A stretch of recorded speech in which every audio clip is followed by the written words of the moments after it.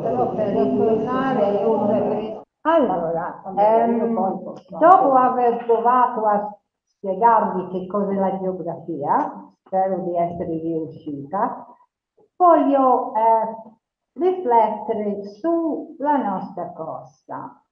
E il titolo è un po' imponente, non intendeva che fosse così imponente, però ci fa riflettere ehm, l'impatto delle decisioni sociopolitiche sulla morfologia della nostra costa. E ho preso um, un quadro di uno dei macchiaioli per farci vedere come fu vista negli anni eh, 1860 una parte della nostra Se non sapessimo che questo era la nostra costa, avremmo potuto pensare che era proprio altro. Invece era così. Non uso la parola naturale perché non esiste in nessuna parte del mondo un ambiente del tutto naturale. Dovunque ci sia stato l'uomo, anche se per sopravvivere in un modo semplice, come pescatori, come cacciatori, come agricoltori, qualcosa è cambiato. Quindi evito di usare quella parola um, e andiamo avanti. Prima uh, a Castiglioncello e poi andiamo giù a Bolgheri. Allora, spero che sì. Prima. Allora, io voglio immaginare che questo è il palcoscenico su cui l'uomo o la donna, l'essere umano, ha giocato un ruolo molto importante partendo da Castiglioncello al nord e andando giù fino a, a Bolgri al sud. Considero però solo Castiglioncello con una qualche minuto intorno a quello che sta succedendo adesso a Cecina, alla Marina di Cecina, per passare a Bolgri. Allora, i principali attori a Castiglioncello sorriderete tutti perché ho messo Coco Chanel. Senza di lei Castiglioncello non sarebbe come adesso. Diego Martelli lo conosciamo tutti. Poi ehm, Patrone, eh, Barrone, Fausto Lazzaro, Lazzaro, Lazzaro. Lazzaro. Poi c'è il comune di Dosignano Marittimo che è entrato un po' tardi sulla scena e poi la signora in basso a destra. I principali attori invece da Cecina a Bolgheri erano il Granduca Leopoldo II, il marchese Mario Incisa della Rocchetta e la regione toscana. Adesso è molto importante il ruolo della regione toscana uh, in quello che succede, sta succedendo adesso, proprio adesso a Cecina, sul giornale del ieri o l'altro ieri c'era un articolo e torniamo alla fine di tutto su questo articolo. Allora, cominciamo a Castiglioncello. Com'era una volta? Il primo eh, quadro è di Fattori e ci fa vedere due figli di pini che sono stati piantati da Martelli davanti a casa sua. Prima eh, trovare un albero in questo pezzo di costa sarebbe stato abbastanza difficile non è una pianta che cresce con facilità. Eh, in, nel regalo che ci ha fatto la geologia, torniamo su quell'articolo, eh, quella, quella cosa in un momento. Poi abbiamo signorine, la ragazza, la signora eh, con gli animali su un prato, mi sembra che sia stato già mettuto, e poi eh, la Torre Medicea quello è di Borrani, e ti pongo la domanda. Guardando questi visuali, questa impressione, cerchiamo un aggettivo, guardiamoli tutti, sono altri. Tre alberi insieme qui c'è anche una casa, quindi un'abitazione in vicinanza, per trovarne un altro bisogna guardare molto lontano in mezzo a una scena che sembra eh, agricola. Poi abbiamo un pezzo di costa che se lo cerchi oggi non lo trovi, però è lì. Questo è Porto Vecchio. Eh, queste erano due eh, visioni di Porto Vecchio da eh, Abati con la casa lunga che è ancora lì adesso si chiama la casa nel, del campo o una cosa del genere, una, solo appartamenti. E poi davanti c'è un fiumiciattolo, il Bocchio Pastraia, con alcuni sassi su un pezzo di terra, non lo chiamo spiaggia, diciamo un pezzo di terra, e a destra c'è lo stesso, stesso boccio, pastraia, e si vede che era un pascolo, si vede eh, gli animali a pascolo, come in Corsica, eh, se ci fai adesso, so, è uguale, non in tutta la Corsica, ma in molte zone della Corsica. Gli animali sono a pascolo giù, eh, accanto al mare. Adesso vi pongo la domanda. Come si potrebbe descrivere questo ambiente? Sia quello dei, dei campi, della campagna, sia l'ambiente al mare. È selvaggio, è brullo. Queste sono le due parole che ho trovato in continuazione cercando informazioni su questa zona. Selvaggio e brullo. È affascinante, ma dipende da ciascuno di noi, il nostro um, visione del bello. Quindi potrebbe essere affascinante, potrebbe essere anche ripellente, dipende come reagiamo ognuno di noi da, di fronte a questi quadri del Macchiaiolo. Però come eh, geografa io devo capire perché è così, perché è così. E comincio da capo e da capo all'inizio c'è la geologia. E infatti la geologia è fondamentale perché la roccia in superficie su tutto il promontorio di Castiglioncello è la canchina. Non voglio ehm, stare troppo a, a, guardare questa cartina per avere solo un'idea. In generale il giallo è questa panchina, è la roccia che vede ai pungenti, ostili al massimo. Eh, dopo vi faccio vedere una volta nel parcheggio Brenta di fronte a casa nostra dove si vede benissimo eh, la panchina. La panchina è un deposito recente geologicamente parlando perché copre altre rocce che hanno tutta un altro tipo di, ehm, diciamo, carattere che può influire molto su quello che troviamo qui adesso. Ad esempio, se si va a Ponte Vidini, queste sono due rocce molto più vecchie della panchina, sono rocce calcaree, Um, uno che 1M3 um, è la, quando si comincia a camminare, poi dove finisce il camminamento appare un'altra roccia, eh, però sono tutte e due dello stesso epoca. E poi c'è una striscia lungo la costa, da lì dove c'è Godilonda, che è vulcanico, il Gabbro. E ancora più vecchio del gabbro c'è un altro roccia che si chiama serpentinite, però questi ci sono a Castiglioncello, ma sono nascosti, sono sotto questa panchina.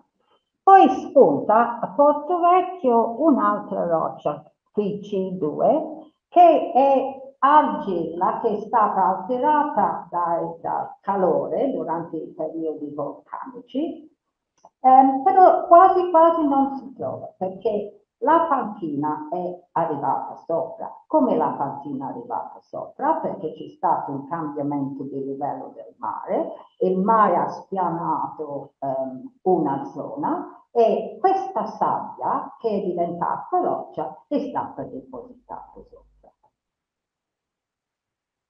Allora, questo senza fare una lezione di geologia, però è importante. Immagino che abbiamo tagliato un pezzo eh, così, partendo dal numero 4, torno indietro, ehm, da Punta Ridini, e salendo su ehm, a Castiglioncello Paese, su alla strada della Ragnaia che va su in alto. Ah sì, scusa, sì, allora, sì, sì, allora, partendo da Puntirini, eh, questa, questo qui che è il gabbro è quasi alla superficie ma non, non proprio.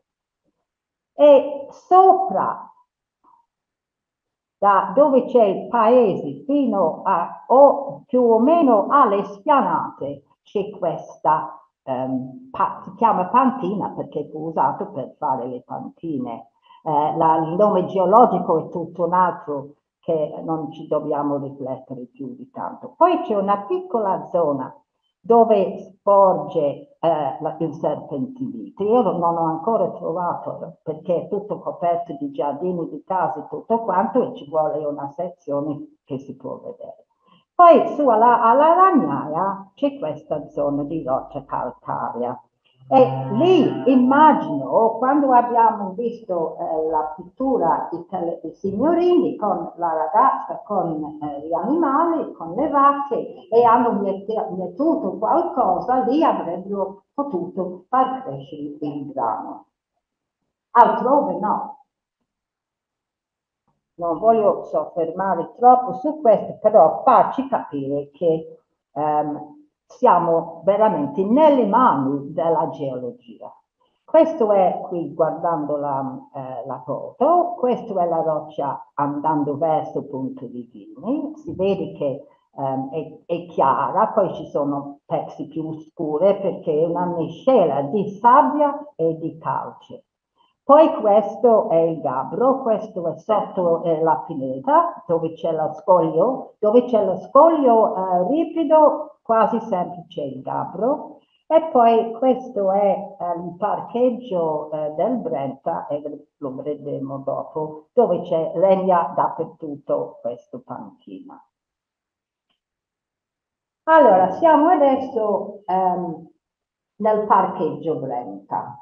Qui c'è la roccia calcarea sabbiosa e sopra c'è questa panchina e nonostante che ci sia la vegetazione che contribuisce, le vecchie foglie, c'è l'umo, eh, humus non so come si dice in italiano, non è riuscito nemmeno a fare il terreno, doveva mettere una, eh, una cosa, un metro, però qui qua 40 centimetri, perché cresce in 40? I pini crescono perché le radici sono così però non è terreno agricolo, potrebbe essere pascolo, ma non ter- potrebbe essere terreno eh, agricolo.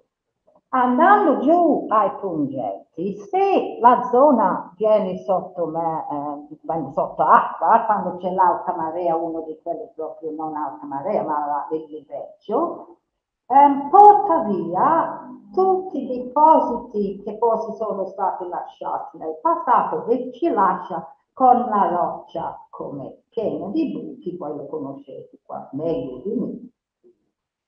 Le piante fanno il tutto per stabilirsi.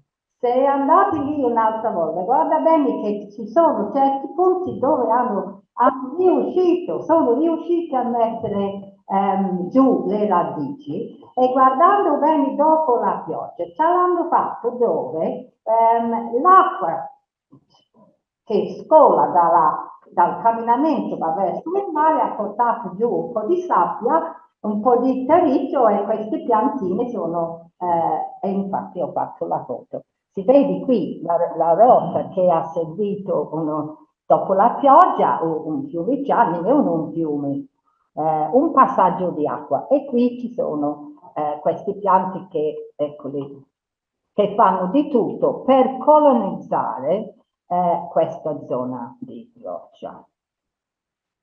Quindi quello che si vede a Castiglioncello è... Ah, non va avanti, che ho fatto?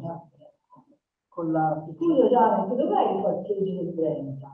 Sorry? Allora, su, lungo via dei macchiaioli, uh-huh. quando la strada sale su eh, alle spianate, lì c'è il parcheggio. Sì, allora lì è l'unico posto che ho trovato dove c'è questa esposizione. Um, probabilmente quel parcheggio, voi sapete meglio di me, è proprio accanto al vostro e probabilmente si allaga adesso perché l'acqua non riesce a scolare via e entrare nel vostro. È un laghetto dopo la pioggia. Però nel passato probabilmente eh, quando c'era il pieno del botto, scavava in quella zona e ha esposto eh, questo. Non credo che sia una piccola faglia, ma ho bisogno di una mappa geologica molto più dettagliata di quello eh, lì. Allora, questo è, diciamo, eh, il palcoscenico, una costa abbastanza ostile, abbastanza infertile, con certi scogli e rocce che sono um, stati evitati per secoli, anche millenni, anche se c'erano gli Etruschi, che sappiamo che c'erano, non era invitante all'essere umano di andare lì a provare a fare qualsiasi attività tranne fosse pescare. E poi arriva eh, Martelli. Lui ereditò tutto all'età di 21 anni, avevo letto e nel 1861, appena 22 anni, ah, quindi aveva sì, 22, aveva la sfortuna o fortuna, dipende come si vede, di ereditare questo territorio intorno a Castiglioncello. E lui ospita gli amici artisti del caffè Michelangelo di Firenze che sono diventati eh, famosi e con il nome di Macchiaioli. E lui, in data incerta, ho cercato ma non sono riuscita assolutamente a trovare esattamente la data, lui comincia la moda dei pini a Castiglioncello. Lui ha piantato due file di pini abbiamo visto che Fattore, vedendo tutto dalla terrazza della eh, casolare di eh, Martelli, ha visto questi bei figli che un po' rendono più dolce eh, la visuale. Però c'era un altro motivo per pianteggiare i figli, come vedremo dopo. Allora, nel 1872 eh, e 74 lui ottiene dal demanio i beni e i casseggiati intorno alla torre Medicea e altre tenute fino ad essere padrone di ben 1099 ettari, quindi non era un, una piccola eh, tenuta, era grande. Poi accumulo i denti 1880 e avvia trattativi per la vendita. Io penso che come eh, terreno agricolo rendeva poco e quindi non si capisce, io non ho capito bene perché ha deciso di comprare tutto il resto intorno alla torre, non lo so, perché le piaceva probabilmente, ma il terreno costa. Anche se lo lasci fare lì a fare niente, il costo c'è. perché metti che cambia idea, devi sgomberare un po' tutto, cioè non è che lasciando terreno incolto si risparmia. E, e nel 1889 vendo tutto al barone patrone per una, un valore di 3 1, 4,264 lire. Io non ho nessuna idea come se, però ho capito che era svenduto, ma io non posso sapere um, qual era il valore del mercato, però ho, ho letto che lui ha, doveva vendere, quindi basta vendere e quello che ricava era secondario. È molto triste per me, nel 1896 muore nella sua rustica villa accanto alla quale il barone inizia la costru costruzione del castello. Quindi non ha solo ha venduto, ma ha visto qualcuno che cambia l'ambiente eh, alla quale teneva parte.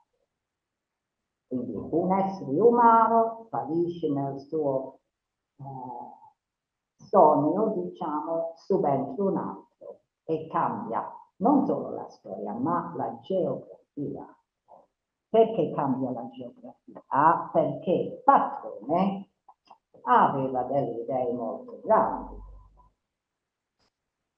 Anche lui un personaggio interessante, nasce a Lima in Perù, reso ricco dalle importazioni di guano cileno, 89 acquisisce i possedimenti di Diego Martelli e la custode dal nulla, queste sono le parole importanti, un paese balneare, l'aga Camini dell'Ottocento, eh? Passodri del nulla. Queste sono, io non sono le mie parole, queste le ho lette, ma non era nel nulla, eh? Anche questo è una descrizione molto soggettiva, se era nel nulla. Però per lui cercava il nulla per poter mandare avanti le sue idee. Allora, quindi tra 89 e 91 fece costruire il suo castello dall'impresa Luperini di Castelnuovo, che dopo costruirà anche Villa Godilonda e Villa Corcos. Era molto, sì, dimmi, eh, mi dica, sì. Come è bellissima quella foto storica, io sono di Castiglioncello. Sì. Quella foto storica che ha pubblicato è bellissima.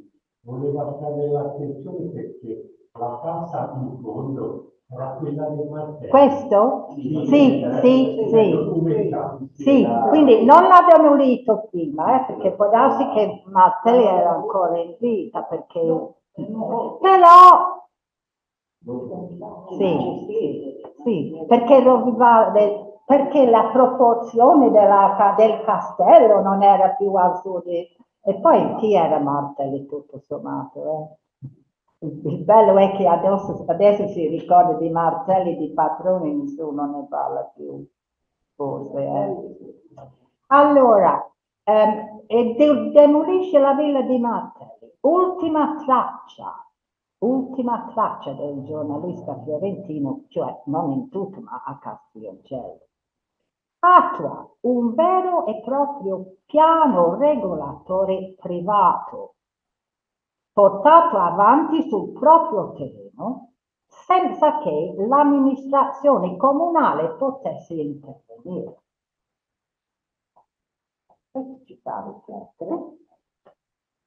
Su come l'uomo senza freni può cambiare l'ambiente per il bene o il male. Io non faccio nessun giudizio, è bene comunque che ci rendiamo conto che quello che vediamo tutti intorno a noi è la- il prodotto di un'iniziativa di qualcuno che non è stato bloccato da nessun altro.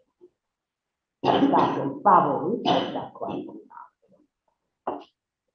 E vedi che lui regala una porzione di terreno ai personaggi importanti, importanti per attirarli al luogo. Inutile creare un luogo eh, di prestigio se non ci vengono le persone di prestigio. Eh? E quindi che fa?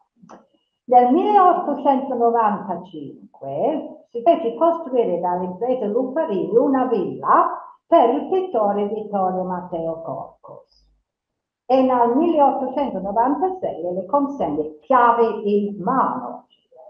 Eh. Poi dona all'ingegnere Giuseppe dei Montel, che era quello coinvolto con la ferrovia, eh, l'angolo della futura Godilonda, altro lavoro di Luperini, dona al commercialista Saverio Parisi, proprietario della ditta costruttrice della ferrovia, il terreno per la sua villa, costruita nel 1906. Dona al proprio sovrintendente Luigi Adriano Melani il terreno per il museo destinato alla conservazione dei tanti reperti scoperti in zona e il terreno dove costruirà la villa Il Ginevro vicino a Corco.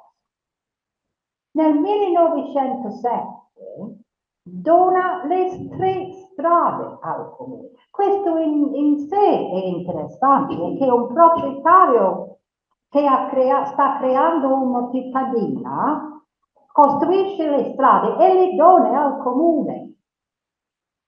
Eh sì, inter molto interessante. La decisione su esattamente dove andavano le strade l'ha preso lui, immagino. Eh, certo. Eh, man mano che esse erano cedute, la zona si presentava oramai edificata con ampi giardini che bloccavano l'accesso al mare.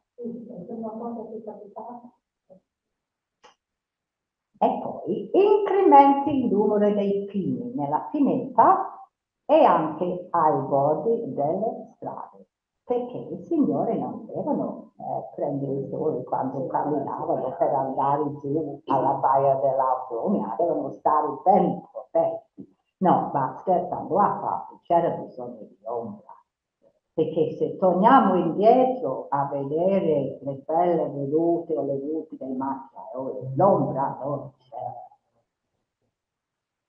Quindi, avendo creato eh, la città, piccola città, l'ombra ci voleva. Allora, eh, lui entrò in discussione con il comune di Rosignano Marittimo per la, la locazione della stazione. All'inizio del Novecento si forma il Comitatore, che dovrà spingere per la ferrovia Livorno-Vada perché prima non era la ferrovia Livorno-Vada, veniva ehm, dalla linea Firenze-Livorno, passava giù a Cecina. E quindi eh, c'era un bisogno, se questa gente benestante, famosa, eh, eh, dovevano venire a Castiglioncello, ci dovrebbe essere una ferrovia. Eh, allora lui si contrasta per la locazione della stazione. Nel 1905 il Consiglio Comunale candida le località di Monte Arena e Caletta, ma intanto l'ingegnere di Montello ha quasi terminato quella di Castiglioncello, costruita dal barone a coppia del suo castello. Quindi non aspettava, eh, anzi lui era contrario a, a, a, mettere una stazione giù alla Caletta, però nel frattempo fa il suo, la sua stazione davanti a casa sua. E il 3 luglio del 1919 il nuovo tronco ferroviario viene inaugurato e quelle due stazioni, una stazione come sappiamo alla Caletta,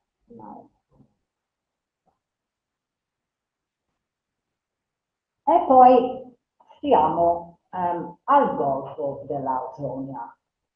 Fino a che Diego Martelli aveva tenuto per sé la tenuta di Castelloncello, anche il terreno che circondava il golfo dell'Ausonia, approdo naturale fin dal tempo degli Etruschi, era brullo e rudo, con la sola casetta del demanio affidata ai pescatori, i fratelli Auliboni, che sorgevano loro la capanna fino all'inizio del Novecento, nell'insenatura del Porticciolo. Io non sapevo un granché a proposito della pesca qui, ma pare che era molto stagionale e che eh, i pescatori seguono la migrazione dei pesci venendo giù da Livorno passando lungo la costa. Quindi per un certo periodo, qualcuno mi potrebbe spiegare, per un certo periodo dell'anno eh, questo posto era molto importante per i, i pescatori che erano migratori eh, e seguivano i pesci. Allora, tutto è cambiato. La casa dei pescatori fu demolita durante la costruzione dell'albergo Miramare. Io ho letto quella data, intorno al 1910, però Miralavo l'hanno iniziato nel 1911, ho trovato. Se, non so se hanno eh, demolito la capannina prima di iniziare eh, o a che punto, però il punto è che non, quando si vede questa foto non c'è più. E sorgono al suo posto i bandi concessi sul terreno demaniale dalla provincia di Pisa, portamenti voluti dal patrone, furono costruiti su palafitte con veranda e caffè, ristorante e locali di soggiorno e bar.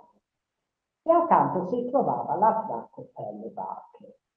E qui si vede eh, il castello, eh, qui è qualche albero c'è, quindi questa piantagione eh, desidero di, di eh, mettere una vegetazione più alta, diciamo, eh, lungo il promontorio stava ehm, andando avanti. Però Patrone si stufa e qualcuno di voi, io non ho potuto eh, approfondire questo, però si stufa. Nel 1900, arrivava la ferrovia, si stufa, forse veniva gente che non, voleva e arrivasse, che ne sappiamo. Sarebbe interessante sapere. Allora, vende a Romolo Monti di Monte Catini Terme quasi 800 metri di terreno dove fa costruire il futuro Miramare. Nel 1915 vende all'avvocato Odorico Dal Fabbro un pezzo di pineta ed un piccolo fabbricato che sarà poi il Cursal e nel 1932 la Villa Celestina dal Gerata a Tiglio Teruzzi. Nel 1921 si costruisce la sezione del fasce e il barone patrone non si espone più. Qui c'è una storia che sarebbe molto interessante approfondire. Nel 1925 vende il castello al pistoiese Alfredo di Rindello e se ne perdono le tracce. E nel, nel 1927 muore a Monticavo nel Principato di Monaco. Chi ne parla oggi? C'è qualcuno che lo nomina? Anche questo è interessante. Allora, qui entra la signora francese. La temperella venne lasciata da Coco Chanel nel 1923. Prima di lei, abbronzarsi al sole non era considerato un cliché di antimoda, ma il contrario. Infatti le donne dell'epoca si facevano notare a spasso per le città munite di ombrellini, velette e parasoli piuttosto ingombrati e dice la Cocò, una donna deve abbronzarsi.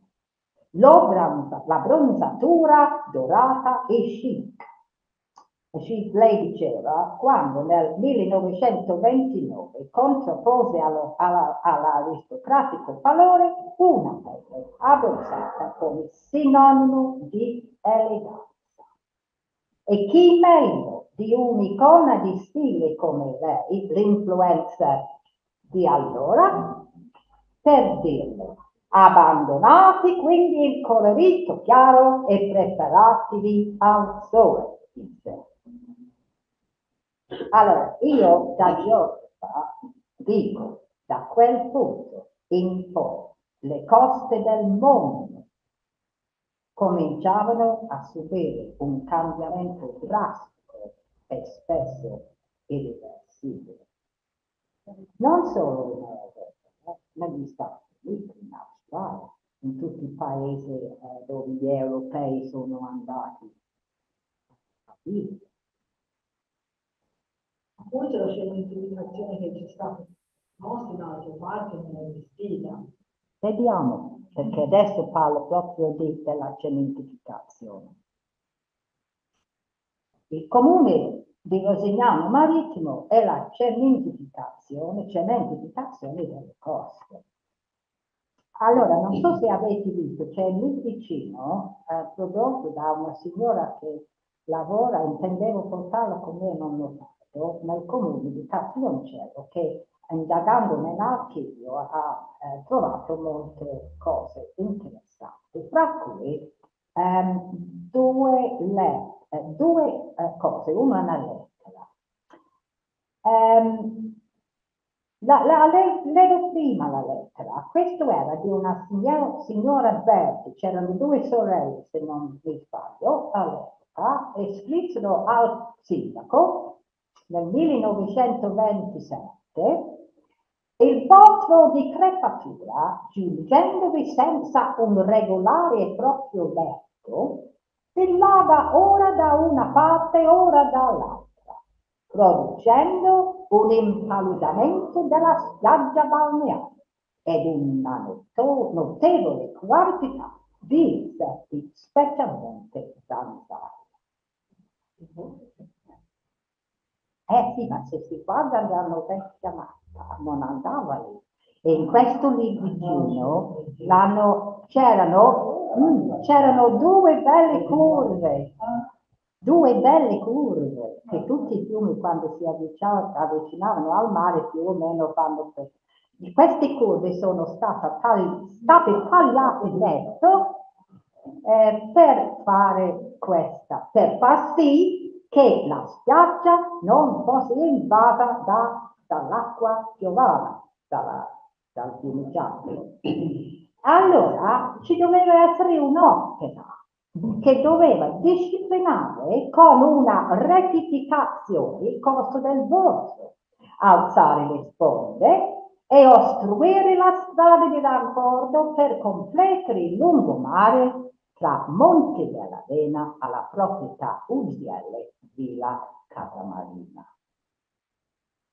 Quindi questa era la richiesta della famiglia dalle sorelle Berti, il comune che accetta e poi va avanti con il, la costruzione del lungomare. Allora, qui ho due tratti. Eh, il primo tratto era il lungomare Cristoforo Colombo e il secondo era Amerigo Vespucci e Alberto Sordi. Nel 1932 il comune inizia la costruzione del tratto solare a venire dal demanio preso in affitto. Demanio preso in affitto. Queste parole in sé sono interessanti, eh. significa tu puoi prendere in affitto una parte del demanio e dopo poi non so se mi sbaglio, qualcuno di voi potrebbe sapere meglio di me. Dovette anche chiedere però la collaborazione della famiglia insieme, già concessionaria della zona attraversata dal percorso pedonale nella zona di Puglienti. Quindi loro avevano ottenuto ehm, la concessione prima del comune e quindi il comune per fare questo percorso doveva chiedere permesso all'Insieme. Se, se l'Insieme avrebbe, detto di no, immagino che non sarebbe stato complicato, non lo so, però erano d'accordo. E va fino a Porto Vecchio dove terminò con una co costa stalinata sul mare e con un viale a gradoni che si inoltrava nel verde della pianeta, quindi dove c'è cuceva era, finiva lì, perché qui subentra la roccia il gabbro e ehm, lì ehm, la costa era così e quindi non era il caso, eh, almeno di allora, nemmeno oggi, di alterare quel pezzo di costa. Allora, eh, riprende, come eh, sappiamo, dal circolo nautico a punti di Vino. E quello fu aggiustato negli anni 90. Allora, qualcuno comincia a porre qualche domanda perché questo l'ho preso dal Tireno 25 anni fa, oggi, il 3 di febbraio del eh, 98. La passeggiata è stata prolungata ed ampliata dall'amministrazione comunale con una colata di cemento che in alcuni tratti ha preso il posto dei vecchi mastri pescoli. A me sembra che la giornalista non sia tutto d'accordo di quello che scrive. Andando avanti e poi facciamo eh, una pausa. Il boom economico, il turismo balneare per tutti gli italiani arrivò solo dopo la seconda guerra mondiale sulla scia del miracolo economico degli anni 50-60. Nei comuni lungo le coste crescevano alberghi e seconde case e dopo che la legge Bucalosse entrò in vigore nel 1977, i comuni stessi cominciarono a guadagnare dalle concessioni edilizie, anche se il denaro che entrava doveva essere utilizzato solo per urbanizzazione del suolo, creare eh, fogliature, eh, illuminazione e così via.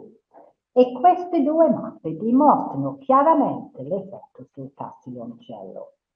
Allora, questa mappa fu fatta dall'esercito americano nel 1943.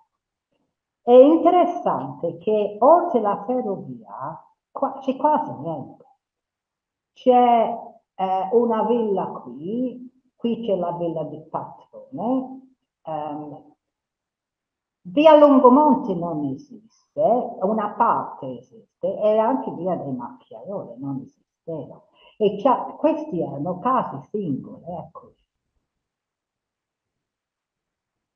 43. Questo è di Google di adesso. Tutta questa zona qui è casa. Eh, ci fa riflettere che in un arco di 80 anni c'è stata un'esplosione, non della popolazione, perché molti sono seconde case, un'esplosione dell'area urbana. Allora, Adesso dico questione. Arrivati turisti bisogna sistemare la costa imperia e inospitale. Questo sono io. Perché chiaramente con tutta quella gente dove vai? Su quali spiagge vai? Dove, metti, dove ti metti?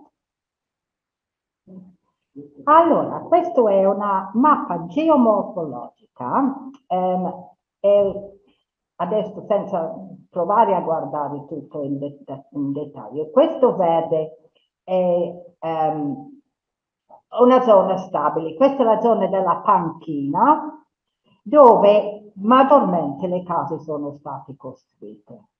Non serviva come terreno agricolo, allora va bene per costruire, facciamo le case qui.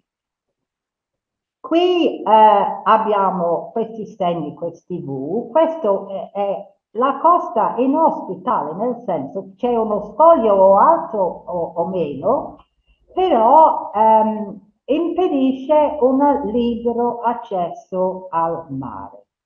Dove qui appare questa roccia, ehm, questa zona 13, c'è un cambiamento di roccia e la baia. Le baie sono state create tutti quanti dove c'è un cambiamento di roccia, o addirittura questa è la quercitana, cambia la roccia ma anche c'è il botro che entra in questo punto. Quindi non c'è tempo di, di parlare nemmeno dell'effetto dei botri sulla morfologia della costa. Qui una volta dove ci sono questi um, disegnini qui c'era la vecchia costa, una vecchia costa e quando si sale subito andando a, su a via Brenta, quella è la vecchia costa, la costa di milioni di anni fa. Vediamo che le costruzioni per provare a domare il mare ci sono questi qui, questo è un'opera um, di difesa longitudinale, no, questi distaccati sono longitudinali, questo è porte e ripari nautici, questi li descrivevano come ripari nautici. E qui c'è Porto Vecchio che è pieno zeppo di ripari nautici e, e di um, difesa longitudinale, longitudinale distaccata. I pungenti sono rimasti tali, non sapeva, nessuno sapeva come fare, quindi non hanno fatto niente. Eh, qui alla caletta abbiamo quella, quella barriera, questa difesa longitudinale distaccate, e qui eh, andando verso Solve, qui c'è il botto della crepatura e tutta questa zona qui dove i pungenti, come i pungenti però lì hanno provato, come vedi qui, a fare qualcosa. Io ho messo, ho messo, alla caletta bisognava domare la panchina. Che facciamo questa panchina con tutti questi turisti? Dove li mettiamo? Allora, facciamo una costruzione, una piattaforma, dove d'estate ci sono le ombrellone, e per permettere ai bagnanti di accedere all'acqua c'è un camminamento qui di legno e poi la sabbia. Come facciamo se il mare porta via la sabbia? Allora facciamola arrivare da qualche altra parte. Ci, qui c'è una bella mucchia eh, di sabbia lì a, alla caletta ehm, dove l'hanno messo qui al riparo, sperano, eh, de, de, delle onde e poi la stagione successiva lo rimettiamo a posto. Io ho guardato questa sabbia, non c'è segno di vita, non c'è una conchiglia, non c'è un pezzo di, di Posidonia. E quella è un'altra storia che non ho tempo di raccontare adesso, mio marito sta ridendo, lui può, può dire durante la pausa. Allora, se pensiamo che ci siano stati cambiamenti a, lì alla caletta, forse meno di tutto alla caletta, andando verso Porto Vecchio, Porto Vecchio è irriconoscibile. Questa baia ha subito dei cambiamenti drammatici del periodo in cui fu dipinto da Giuseppe Abbati, 62-73. Nel 1879 Parigi Cardon acquista vaste aree di terreno, compreso la Casa Lunga, che qui era sul quadro di, um, di Abbati, sulla punta di Levante. Inizierà la costruzione della sua villa su un terreno prospiciente al mare. Alberto, se, sa, se lei sa dov'è, mi spiega perché ho girato e non lo trovo. Eh, Parla della villa lunga. Sì. Mm. Allora, nel 19, dopo me lo dite, perché... La lunga è di fronte sì. a Porto Vecchio, sì. alla ferramenta faccenda. Sì. Faccenda Sì, sì. Mm. Ecco, praticamente di fronte c'è un cancellone. Sì. E lì c'è l'ingresso della villa. Ok, grazie. Carlo. Allora, ehm, nel, nel, 1919 sulla stessa punto Carlo Montesemolo fece costruire la sua villa la, distrutta nel bombardamento del giugno eh, del 1944. Questa è una bella foto eh, di Porto Vecchio negli anni 50 e si vede che c'è un po' di cemento, eh, questi due qui, ma non del tutto, non è tutto cementificato. E questo l'ho fatto io di gennaio. Praticamente le onde del mare non dovrebbero, non dovrebbero arrivare sulla spiaggia, questa è l'idea. Per qui c'è un codolo, però il mare è più furbo perché arriva ogni tanto e fa un bel deposito qui di Posidonia. Quindi qui c'è la massima espressione del tentativo dell'uomo di oggi di adattare l'ambiente per i suoi motivi e motivi economici, socio-economici, perché la gente che ha comprato la casa pretende di poter stare a pretende di avere uno spazio. Non vogliono quella roba fra le dita dei piedi, eh? Non voglio, non voglio. E la povera Botto Pastraia e ai lati della cucina e scompare sotto, non è quella, non l'ho interrotto all'inizio, della piastra. della piastra. Io ho trovato, l'ho, corretto, grazie, tro- non so dove l'ho, l'ho visto scritto così. Comunque c'è, è sotto il camminamento che eh, chi ha la barca usa per arrivare alle sue barche. E fini- finiamo qui la, quasi, non leggo tutto questo, solo eh, l'ultima parte. Questa è la giornalista nel- nell'articolo di prima.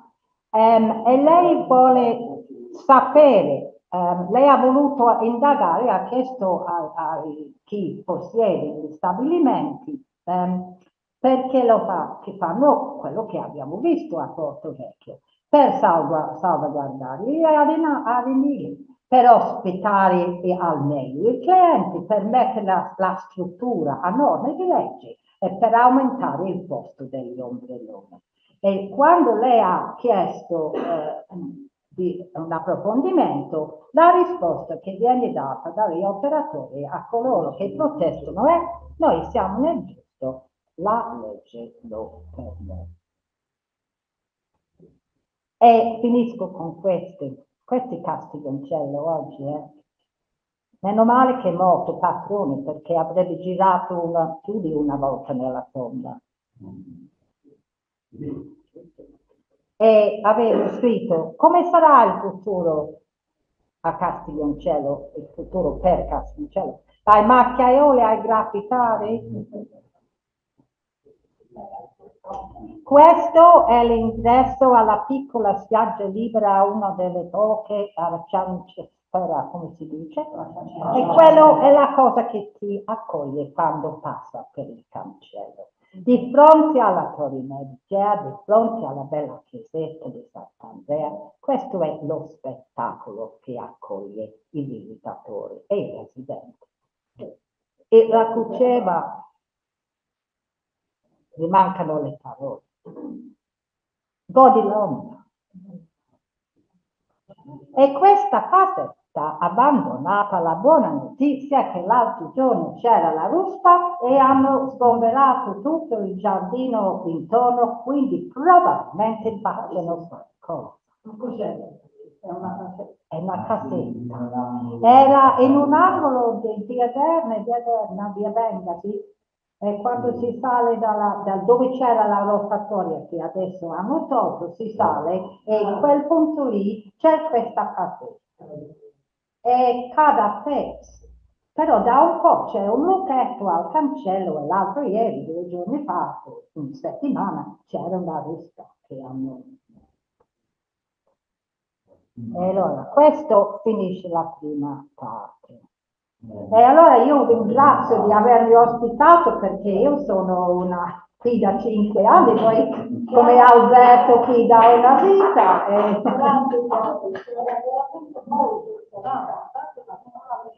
No, no, poi si va a volgere, si va a volgere. Se Enzo vuole, le- lo lascio fare, raccontare la storia della sabbia del Quercica. Ah, sì, sì, sì. Una volta eravamo andati, lei a via Vincio, ci andiamo spesso. perché- D'inverno era. D'inverno, perché andiamo a vedere l'opera al cinema. È l'unico posto decente dove andare e quindi si va lì. Eh, andiamo al ristorante e vicino a me c'era un ragazzo, il ristorante era pieno, e c'era un ragazzo con un sacco di scartoffie. Allora io comunque sono sempre un po' curioso, parlo un po' con tutti e inizio a parlare con questo ragazzo giovane, su 30 anni, che da Parma veniva. Sì. E allora, fa interessante lei, dico, eh, è venuto qua per lavoro. Ah, dice sì, sì, dice io porto, cioè vengo qua, contatto i- tutti gli stabilimenti e poi faccio l'ordine da me su, eh, perché qui si porta tutta la sabbia che è nelle vicinanze delle pianure del Po, non del fiume, ma nelle vicinanze delle pianure. Qui viene mangiata. Dice tutto una sabbia riportata, perché il mare se la prende, porta via, fanno le barriere dappertutto e quindi il mare comunque il suo lavoro lo fa. Se gli viene impedito in un punto di costa, poi mangia l'altra, è così, è tutto. E io spiritosamente gli dissi, ah, dico, guarda, dico, guarda, ti do del tubo, essere tubato, dico, ti do un un'altra occasione per lavorare ancora di più. E gli dissi, guarda, vai al lago Trasimeno, perché io arrivo da lì, vai al comune e vedrai che ti ordina un sacco di roba, perché lì hanno la fissa, perché alcune zone deve essere Rimini, possibile che il lago diventa Rimini, o hanno la fissa, quindi costruiscono e la spiaggia di qua e la spiaggia di là, cosa impossibile, perché io sono nato lì, quando sono nato il lago era una pozzanghera, come dicono ora i cambiamenti climatici. Ma nel 50 io che ero vicinino, camminavo metri e metri sul lago perché si era ritirato, c'erano tanti solotti di sabbia, noi ci giocavamo, per dire, no? però sono ostinati perché non lasciano la natura, il percorso della natura, non la lasciano. E quindi continuamente fanno un disfanno, un disastro. Allora gli dissi, vai là e troverai tanto lavoro perché ti ordineranno un sacco di camion. Quindi abbiamo scoperto che tutto questo litorale viene eh, ricostruito, insabbiato da... Ecco perché nella sabbia ecco che nella sabbia non c'è niente. No, Non trovi niente che rappresenta il mare, un residuo del mare, niente, niente. Giù a Vada sì però, Vada ci sono, qualcosa. a Vada ci sono qualche, ad Onorato lì ci sono. Un tempo ce n'erano tantissime. Mm, che. Quando ero ragazzo io tutte le cose d'Italia, le conchiglie così, con tutte le maniere. Purtroppo, eh, tutte le pietre che Una E nota- non si trovano più. Ah, Però sopra nera mare, me le fece vedere Ah, ma interessante. Qualcuno forse parlava, non mi ricordo. Allora Alberto, chi eh, è meglio di, di lei per dirci qualcosa? Mi ha molto appassionato questa parte lì perché con nostalgia lo dico, sono nato in una villa lì, proprio sopra il por- porticciolo di Castiglioncello, Sì. e ci ho vissuto finché poi ero grande e fece anche stare, ma grazie. Voglio dire questo che quindi i miei primi giochi in Cesse erano lì sul mare. Sì, Ora vorrei dire queste cose qui. La fortuna della mia famiglia, che quasi tutti sono stati centenari più che centenari. Ho conosciuto il nonno che fu castellano le parole padrone addirittura. e mi raccontava le storie. Mm. Allora c'è un falso, un falso storico che bisogna- io ho provato a dirlo anche a Silla così, è complicato cambiare. Se si entra nel castello Pasquini, Mhm. da Castiglioncello, subito sulla sinistra c'è la cosiddetta limonaia. Sì. del bar. Quelle erano le stalle.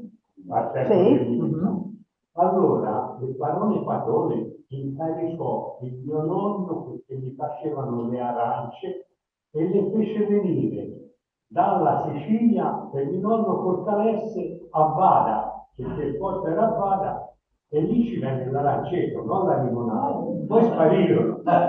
Qualche cosa di a lui c'era rimasto, gli dettero il nome la limonaia, ma con, la, con i muri a Castello Pasti non mai visto. Per quanto riguarda l'erosione, Mm. allora, guarda, quella è stata una cosa che l'ho sempre come una fotografia. Mhm. I bagni eh, del Golfo di Castiglioncella erano eh, scendendo giù dove era il, circolo nautico, che Sì, non c'era, mhm. c'è quella dice che si guarda al golfo. Guardando verso Solvay c'è il pezzettino stretto si chiama Bagni Miramare, Sì. poi i bagni Ausonia Sì. che sono di fronte all'hotel Miramare, Giusto. dopo c'è la Mhm. di qua i bagni Pelosini. Pelosini era il cognome del gestore, è stato per tutta la vita. Quello che va, diciamo, poi verso la va- Punta Rivini. Sì. Io quando ero piccolo ce l'ho conosciuto, un pennello di sassi lì a questi bagni Pelosini, Mhm. Francitutti. Mhm. Quando verso gli anni 60, siccome gli entrava al mare, gli portava via la sabbia, era disperato per ci Come fece non si è mai saputo, però dopo su- subentrarono dei forti attriti con quell'altro gestore di bagni. Ci fece venire una gru che portò dei massi e risistemarono questo pennello e, e lo alzarono praticamente la sabbia ritornò tutta bagni pelosi e sparì a bagno zona. Eh, certo. Tanto che era Eh, certo. tutta muratura, l'avete visto, no? Ci sono le, le, le, le, le cabine. Mi è venuto di dare questo piccolo contributo. Grazie, perché- Eh, perché Ne parliamo eh, dopo, proprio di questo punto. Grazie mille, eh. Più che si impara sempre meglio. Scusate perché ho la caramella. Andi- Andiamo avanti, se no ehm, saremo qui. Allora, qui abbiamo l'altra parte del palcoscenico, ehm, due tratti di costa. Questo è Cecinamare, eh, qui c'è ehm, la spiaggia e qui c'è la spiaggia Libra, il tombolo, costruito, eh, appiantato da Leopoldo II eh, durante il periodo della bonifica ehm, della zona. E si vede che dove ci sono queste cose qui? Si chiamano pennelli, io non sapevo nemmeno, fin, fin all'altro giorno leggendo l'articolo sul Tirreno ho scoperto come si chiamavano, e il movimento di materiale lungo la costa è da nord verso sud. E che succede? Che il materiale rimane dietro il pennello. E la povera spiaggia qui è deprivato di un ripascimento naturale. E infatti scrivo, a sud di Cecina la spiaggia sparisce. Il tombolo e la sua pineta, opera di Leopoldo II di Lorena, Granduca di Toscana nel 1839, potrebbe sparire. Infatti non so se si è questa, è una scena desolante, con tutte le radici di questi pini, co- con le onde che... L'erosione marina in questa sezione di costa è incrementata dovuti ai problemi legati ai, ai scusate l'italiano perché avevo cambiato il nome qui, ai pannelli eretti per la protezione delle coste. Il movimento del materiale prodotto dalle erosioni marine in questa zona e da nord a sud si accumula a nord dei pennelli e a sud la porzione di spiaggia, spiaggia viene deprivata di ripascimento naturale.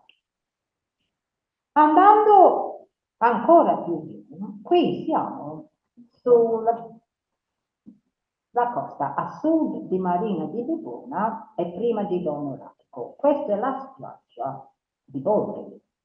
Non si può accedere perché fa parte della riserva naturale. Questo è il lato marino eh, del Padule eh, o Padule di Bolgari e ho scritto che la costa presenta un altro aspetto. Qui c'è um, Balatti, eh, si, si può capire. qui c'è tutta la, la costa piena di piombi. Allora, qui abbiamo le zone ben demarcate. Questa zona qui ehm, viene sommerso dall'alta marea e qui c'è una linea di Posidonia secca. Qualche volta, quando ci sono delle maree alte, eh, le onde arrivano qui, ma subito dopo la sabbia è secca e le piante hanno cominciato a colonizzare questa sabbia. E um, adesso abbiamo cambiato visione, volevo trovare un'altra foto che era nella stessa direzione di questa sezione, non l'ho trovato, però qui abbiamo eh, il mare e qui la Posidonia che viene portato e lasciato in questa zona, la spiaggia intertidale si chiama. Qui c'è l'accumulo di sabbia, questa è l'opera del vento, non è l'opera delle, delle, eh, delle onde, scusate, ehm, andati qui, quindi spiaggia emersa, perché sotto qui c'è la, la vecchia spiaggia, la vecchia spiaggia marina, coperta di sabbia, coperta durante le azioni del vento, e spesso dietro c'è una piccola depressione in cui ci potrebbe essere un accumulo di acqua dopo la pioggia e questo favorisce la crescita di, di erba. Queste piante qui possono sopravvivere senza acqua o quasi senza acqua, hanno ehm, le, le, le, foglie sono spini che non l'evaporazione è al minimo e poi una vecchia duna di chissà quanti centinaia forse di anni fa colonizzata dai cespugli e solo lì, solo dietro ci sono i piccoli, perché il ruolo di queste piante qual è? Di creare un suolo, di creare il terreno. Quindi l'humus, il deposito di detrito della pianta, ri, eh, rende ricca, più ricca eh, il suolo e le piante più sofisticate, più complesse, con delle radici più lunghe, ehm, possono sopravvivere e, e qui c'è un bosco e finalmente una pineta. Le pinete non dovrebbero mai essere a bordo del mare. Perché non c'è tempo di parlare della successione naturale delle piante, perché ogni ambiente ha una successione di piante. Il ruolo della, colo, della pianta che colonizza tutto è di cambiare l'ambiente, poi muore perché favorisce l'arrivo di un'altra pianta. E infine si arriva ad una pianta che nessun altro lo può spostare, perché il massimo è come l'acqua nel, nel piramide degli animali, nelle vegetazioni in tutto il mondo c'è la pianta maestra, che non viene proprio tagliato di nessuno, di natura, l'uomo lo taglia, sì, ma la pianta e si chiama climatic climax, è proprio il massimo che può crescere in quell'ambiente. E il pino è il massimo, perché qui c'è anche la salinità, il massimo che può crescere in questo ambiente, ma non qui, eh perché non sono, non sono strutturate per eh, subire cambiamenti, movimenti della, di, di, anche di vento. Eh. Un vento butta giù un pino e nessun tempo, come sappiamo tutti, cade il cielo. E allora, la storia di questa zona, vado avanti un po' perché ho spiegato, su un personaggio sconosciuto, quasi. Io non sapevo di lui finché non siamo andati a fare visita alla, alla riserva naturale. Era un torinese, si chiamava Mario Inciso della Rocchetta, frequenta la facoltà di agricoltura a Pisa e incontra eh, la famiglia Gherardesca e si sposa eh, Clarici della Gherardesca che è la famiglia di voi.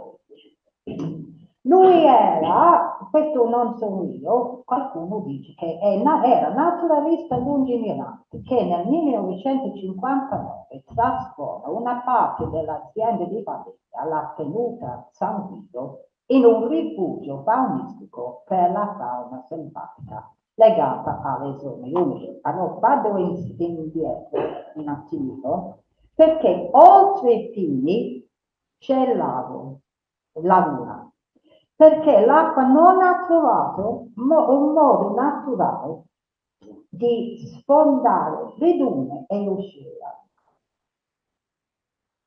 Quindi questa bella laguna che vediamo è dietro ai pini, dietro alla vegetazione lungo la costa.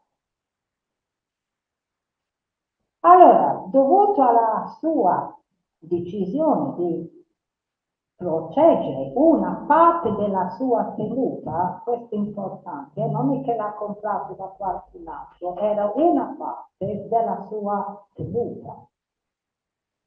Um, è nato questo rifugio faunistico Padure di Borgere, a lui intitolato, poi formalizzato dal WWF.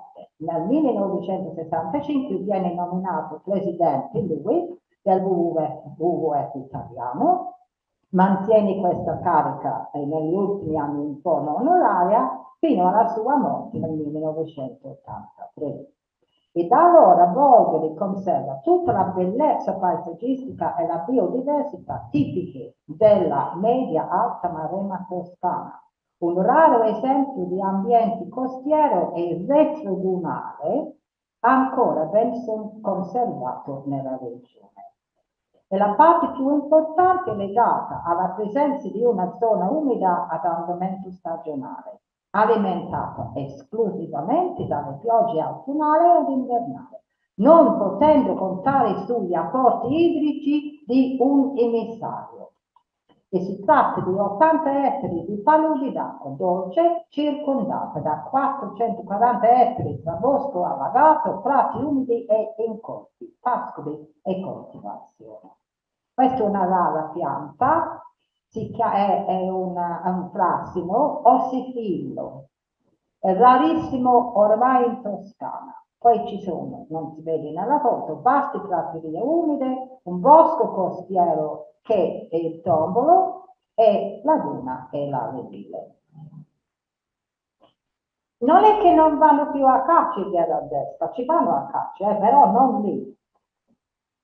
Quindi non è che hanno sacrificato tutti sulla sua tenuta, però quella parte lì, di fronte al mare, fa parte della riserva. Allora metto due uomini, patrone e rocchetta, due visioni completamente opposte, hanno prodotto due ambienti che non condividono nulla, tranne il clima mediterraneo ed un tratto della costa tirenca. Un ambiente in costante evoluzione, seguendo le mode e le leggi del mercato. Questo è patrone. Un ambiente conservato per le future generazioni, seguendo le leggi della natura. Questo è solo un modo di vedere, eh? non è eh, il Vangelo è un modo di vedere come Giova io vedo le attività di queste due persone in questo modo. E dico, spero di aver suscitato un apprezzamento della mia materia, la geografia, e di aver stimolato una vostra riflessione. Dovete finire qui. Poi c'era l'articolo eh, sul giornale, sul giornale che mi ha fatto sperare un pochino. Perché tornando all'ultima lezione che si parlava di quello che hanno fatto in Inghilterra provando a, a, a impedire che la costa sparisse, l'hanno capito a Cecina. Ah sì? Allora, molto interessante. Eh, leggo prima parla problem del problema che abbiamo già visto. Qui i progetti di ripacciamento che sono stati proposti nel corso del tempo hanno mostrato tutti i limiti, temporali soprattutto, di efficacia per combattere l'erosione che si sta mangiando la spiaggia e la stessa pineta, mettendo a rischio tutto il sistema dunare io per me il sistema dunare non c'è più, c'è, c'è da mare, non, non, si, non si vede assolutamente. No. Negli ultimi 3-4 anni addirittura si sono persi 10 metri di spiaggia e tutta la prima fascia di vegetazione, con lo scalino tra la pineta e l'area mille che diventa di anno in anno sempre più alto e verticale. Gli interventi di rifacimento fatti in passato hanno sì restituito alla Venile metri in più, che però dalla stagione invernale sono stati in gran parte nuovamente, nuovamente mangiate dal mare. Il nuovo progetto ha preso in esame diverse ipotesi, salvo poi concentrarsi su, sulla realizzazione di opere di difesa costiere rappresentati da otto isole sommerse costituiti in massi di scogliera a distanza di 200 metri dalla, dalla costa. Isole e non pennelli come è stato fatto nel tratto di marina, perché favoriscono, si legge nella relazione tecnica che è stata predisposta prima di mettere in cantiere l'intervento, meno male, la tendenza al deposito alle spalle, ma allo stesso tempo il mantenimento di corrente lungo riva consente al materiale di essere trasferito anche se con minore velocità verso sud alimentando il restante litorale, riducendo il rischio di erosione verso sud. Quindi questo per me è la prima volta che io leggo che la responsabilità non è per quel luogo, ma per tutti quelli altri luoghi che sono più a sud dell'intervento. Adesso prendiamo fiato per quanto costa. Allora, Dice, esiste già il progetto definitivo di tutte le otto isole. Per le prime tre è arrivato un primo finanziamento di 1,9 milioni e entro la prossima stagione estiva con partenza breve saranno realizzate le due, manca, le due mancanti. Altri 3,3 milioni sono in fase di assegnazione. Io non so quale percentuale questo è del tutto il budget um, del, della regione toscana per interventi lungo la costa, perché la costa della Costana è parecchio lunga però hanno capito che questi pennelli non è una soluzione eh, e io penso personalmente che quel pezzo di meta lì a Cecina è destinato a Somalia. Peccato, però il caro Lodovico era Lodovico Leopoldo e l'ha messo troppo vicino al mare. Che sapeva lui? Non sapeva che non doveva essere troppo vicino dire una cosa, tanto vero che un amico di mio marito che ha un, uno stabilimento balneare di Argentina, ha detto che la costruzione di che lei ha fatto, ha visto aumentare il suo stabilimento di 40 metri Mm. di che non ho mai avuto così grande neanche quando ero giovane. Sì, certo. Quindi lui ha avuto questa curiosità, che venendo da te in questa direzione gli ha portato sulla sabbia. Però poi, come ci hai spiegato, di là, più. Però si può anche essere troppo lontani dall'acqua eh, con questo rifacimento. Perché la- la- lo stabilimento si potrebbe trovare anche troppo lontano dall'acqua. Per un po' va bene, ma se al valore in più che uno scritta, capito, da un punto di vista economico, più che un zone, quindi... Eh? Che contento. Sì. Sì, eh. Qualche altro, grazie. Qualche altro però. Eh. Ma così. Non ci hai detto niente di Rosignano, sono, sono curiosa. Non ci hai detto niente di Rosignano. No, io non dico niente, no, perché ehm, Rosinano è Solvay, è una- un discorso in sé. Io volevo vedere dal punto di geografico due pezzi di costa che la geologia, cioè il palcoscenico, era totalmente diverso e ehm, quello che è stato fatto è stato condizionato molto ehm, da questo fatto. Se noi andiamo in di- eh, giù, nella zona di Bodri, perché i paesotti sono tutti in collina? Ma anche qui c'era la malaria, c'era abitare vicino alle coste, a quelle coste, era sconsigliato, non si viveva lì perché eh, non era il caso.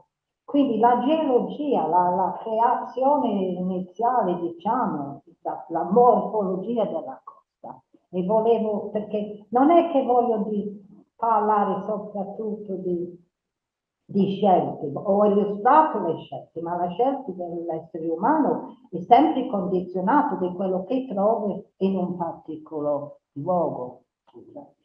Eh, se, ma, eh, so che Mauro parla della sorte, la scelta di fare una fabbrica lì, in quel momento, è- indubbiamente era condizionato da moltissimi fattori che sembravano favorevoli. Io qui non, ho- cioè, non voglio giudicare, voglio che ci pensiamo a, a tutte, tutte le concessioni che il comune dà in un comune, la regione, la provincia di allora, Pisa, la provincia di Pisa ha dato la concessione a, a di fare il bagno a Sonia e i, i pescatori sono stati sgomberati.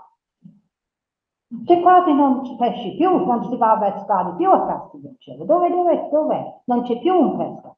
Quello giù a- alla caletta se n'è andato. Se non ci sono aspettati, saranno circa 30 di qualche anno fa bisogna aspettare. Quindi ogni decisione è- ha un impatto sul luogo in cui ci viviamo. Non è che voi, io non critico la scelta di nessuno, nel senso che ognuno agisce nell'epoca in cui nasce. Però le generazioni successive vivono con le conseguenze, o bene o male. Io, per quanto riguarda la geografia, bene, è importante che la gente capisca quello che vede. Eh, adesso finisco con una, una, un piccolo articolo che è stato detto.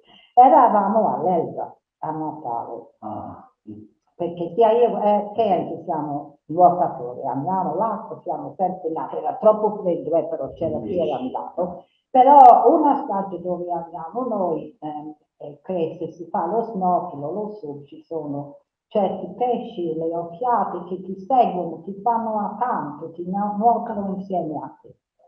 Allora, nell'albergo ci ha detto il ragazzo dell'albergo che una turista voleva andare in causa. perché sulla pubblicità di questa spiaggia dove andiamo, la spiaggia non c'è più. Infatti non c'era, ci ha detto per due inverni, e le onde hanno portato via, via i, sassi, i sassi, quelle Ah, bianche, migliaia. poi sono tornati. Però le migliaia, ma nel frattempo lei è andata in vacanza e non ha trovato questa spiaggia che c'era. Ma la gente non capisce, eh, questa è la mia domanda, non capisci che il mare sposta la roba dove pare al mare? Per me è palese. Sì, sì, ma dove sta spiaggia? Dove è la spiaggia? Sono state imbrogliate. eh? Sì, Alberto. Una, una cosa di Castiglioncello. Ha citato via Lungomonte. Sì, mm, Che sfocia ora in via dalla Cava. sì, Nella, attualmente Castiglioncello finisce dove è località Casalino. sì, Poi si viene in giù, è sempre via Lungomonte. sì, eh, prima la, dove è la Feliceria Vera ora, sì. era il limite di Castiglioncello. Vado a cercare la mappa, un secondo, eh. E successivamente Mhm. per avere dei, degli introiti Sì, in denaro ci voleva del terreno in più sull'ordiniano sopra, c'è tutta una pratica in comune. mm, Quindi Castiglioncello gli fu ri- ridotto, diciamo, il territorio, perché sì, la pelliceria vera è diventata sorbet fino a un pezzo sud dove c'è l'invocco per andare poi sull'autostrada. sì, Ecco, quella lì, quando io ero piccolino non c'era il pullman, Sì. mamma, tre o quattro anni si partiva da Castiglioncello per andare dalla pittorella di Pignano, si chiamava Via del Caverone. ah, Caverone. Ma anche negli anni 70 Ecco, ora io, oltre tutto bianco, eh, era tutta bianca, ce lo ricorda. Via del Caverone. E per quanto riguarda Borghi, sì, ho avuto, io rimasi sorpreso. Eh, lavorando alla Sorbe Mhm. c'era un signore, una guardia giurata, sì, che si chiamava, lo posso dire, Panni, mhm, che era castellano con la famiglia a Castiglioncello di Voce. Io sapevo nemmeno... sì, è in Eh, in alto, alto. Io non Sì. sapevo nemmeno un altro Castiglioncello. sì, E mi invitò poi a visitare questo castello e c'è un lago all'ingresso dove mi fece pescare perché quando aveva programmato, io mi piace pescare, no? Con la canna, pescargli i pesci. Quando veniva eh, il conte in visita perché la sua moglie glieli preparava, è una nota di colore, eh, Eh, sì. non interessa forse storicamente, ma mi riporta indietro eh, ci credo. col tempo.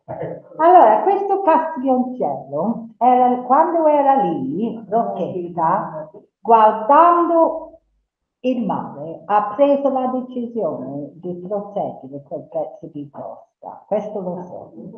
Sì, l'hanno affittato Ah, sì? italiano perché tutto il bosco aveva paura cacciatori di frode, cioè, Sì. io l'ho saputo a quel tempo lì, perché Sì. i civili militari che li sorpresi, eh, dicevi, il Conte ha affittato con una presenza fissa, discreta, ai militari per, per evitare che i cacciatori di frode li cacciassero. Ah. Questo è interessante. Anche lì una decisione di una persona che eh, ha un impatto sull'ambiente. Eh, Sì, vabbè, questo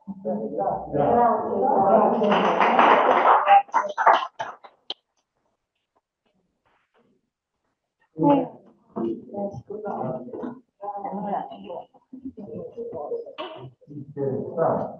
Ma spero che sia stato interessante. Molto, molto. Per tutto il tempo per farlo non devo dire. Perché non è facile, vero Maura? Cioè hai un arco di tempo.